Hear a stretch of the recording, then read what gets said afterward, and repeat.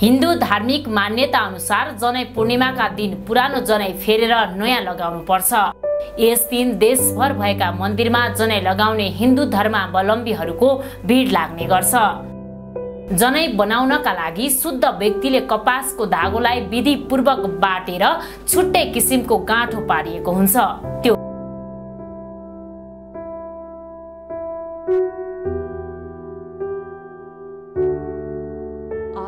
preview.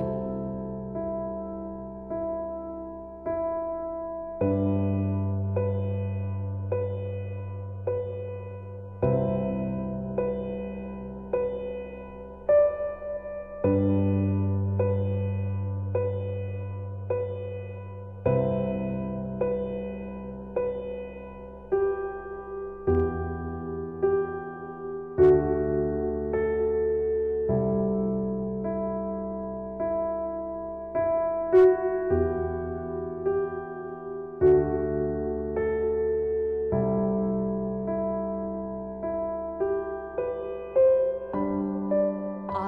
preview.